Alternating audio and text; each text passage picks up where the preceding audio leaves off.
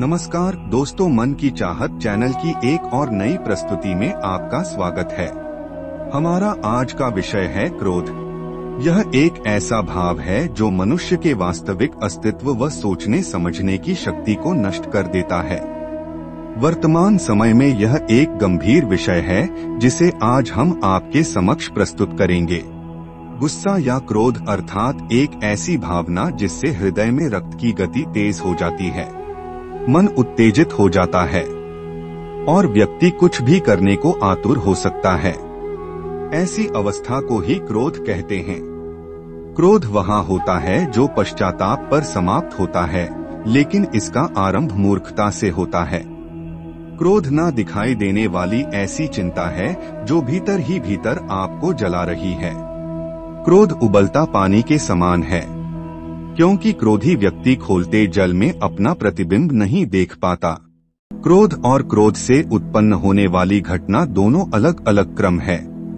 इसका स्पष्ट उदाहरण कुकर हो सकता है।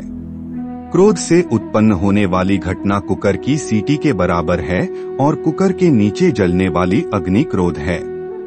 जब क्रोध बढ़ता है, तब दबाव उत्पन्न होता है और सीटी बजने लग जाती है। इसी तरह जब क्रोध सीमा के पार हो जाता है तो उस पर नियंत्रण करना आवश्यक है। सभी जानते हैं कि क्रोध ऐसा मानसिक विकार है जो बहुत हानिकारक है।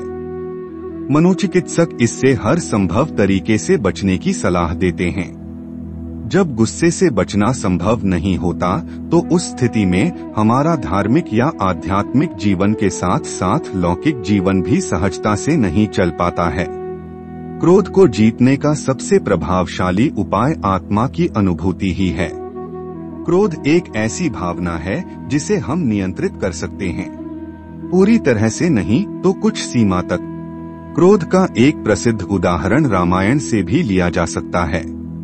रावण विद्वानों से भी विद्वान था और उसके दस सिर भी थे। फिर भी रावण की सफलता ने उसकी मानवता को और साथ ही उसके सद्गुणों को समाप्त कर दिया। जब उसकी बहन शूरपनखा ने अपने गलत कार्यों के कारण नाक कटवाकर अपनी कहानी रावण को सुनाई जो स्वभाव से जल्दी क्रोधित हो जाता था तो वह यह साधारण प्रश्न पूछना भूल गया कि तुम राम और लक्ष्मण से मिलने क्यों गई? श्री राम से बात न करके रावण ने उनका पक्ष नहीं सुना। परिणाम में केवल सर्वनाश ही हुआ। रावण उस समय सबसे ज़्यादा तनावपूर्ण व्यक्ति रहा होगा। यह सब इसलिए हुआ क्योंकि वह बहुत जल्दी ही क्रोधित हो जाता था। इसलिए विचार करना आवश्यक है कि अपने क्रोध को कम करने का प्रयास करें और निर्णय कीजिए कि आप क्या बनना चाहते हैं। राम या रावण। रावण की भूमिका उन सब के लिए नमूना है। जो क्रोध को कम करना चाहते हैं। गुस्से को रोकना एक लगातार चलने वाली प्रक्रिया है। अगर आप 10 मिनट गुस्सा होते हैं तो 600 सेकंड की खुशी को खो देते हैं। हम तब क्रोधित होते हैं, जब हमारे पास बहुत सी मुश्किलें होती है। परिणामतः हम तनावग्रस्त हो जाते हैं। जिसके पास कोई मुश्किल नहीं है, वे नश्वर देह के समान लेते हुए हैं।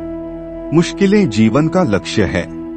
भगवान से मुश्किलों से दूर रखने की प्रार्थना करने की बजाय हमारी प्रार्थना होनी चाहिए कि हे ईश्वर, मुझे अधिक मुश्किलें दीजिए और उन्हें हल करने के लिए ज़्यादा बुद्धिमत्ता और बल भी।